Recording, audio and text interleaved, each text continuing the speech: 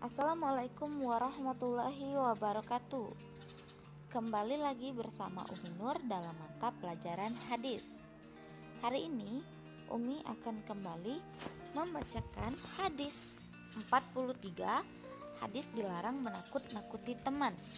Namun sebelum kita melanjutkan pembelajaran kita hari ini Marilah bersama-sama kita melafazkan basmalah. Bismillahirrahmanirrahim anak-anak Umi akan membacakan hadis ini, tolong disimak kembali ya. Bismillahirrahmanirrahim. La yahillu li muslimin ayyurawi'a musliman. Artinya, tidak halal bagi seorang muslim menakut-nakuti saudara muslim lainnya.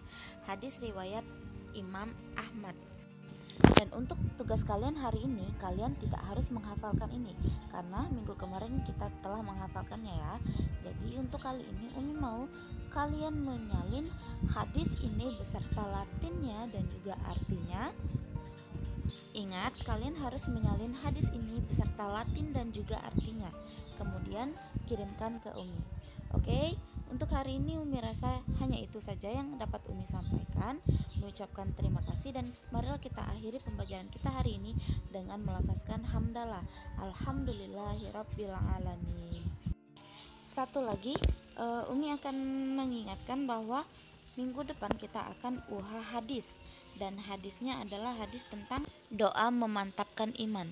Jadi tolong anak-anak hafalkan kembali ya doa memantapkan iman itu hadis yang telah kita baca, doa yang telah kita baca sebelumnya dan akan Umi jadikan untuk bahan uha dan e, akan Umi tanyakan langsung ketika kita zoom minggu depan.